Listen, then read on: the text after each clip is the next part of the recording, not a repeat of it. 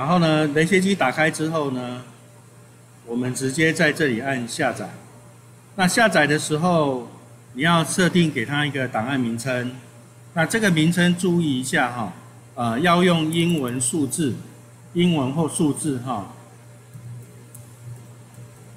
啊，不可以用中文，啊，也不可以有特殊符号，然后要在八个字以内。啊，那好了之后就按确定。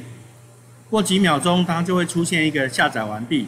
那下载完毕之后，它就是把档案存到机器上面。那接下来我们就要看机器那一端的操作，哦，这样子就 OK 了。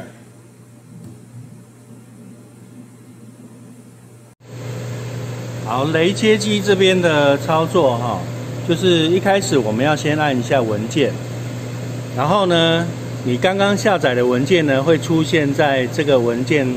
的最上面，好，最上面这一个，刚刚我们是设定 A B C，那所以我们就选这个 A B C，好，先按文件，然后选 A B C 之后，然后按确，按确定，好，按确定，按下去之后，它会把你的档案读出来，那你再确认一下你这个档案的呃长相是不是这一个，啊，是不是这一个？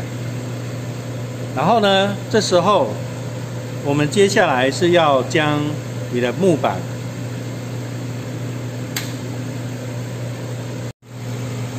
好，接下来我们将木板，好，将你的镭射头，啊，你找一个空的位置，好，木板找一个空的位置，摆在镭射头的下面。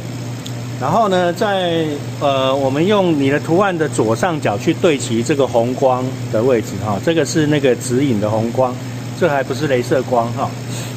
好，然后呢，这时候你要先做一件事啊，如呃，如果你的板子的厚度有更换，那我们就要去调这个镭射头跟板子的焦距，要刚好，要刚好。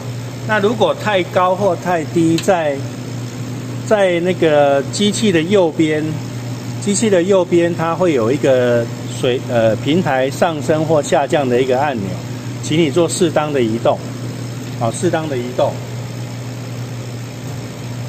好，现在下降哈，那这个太松了，对不对？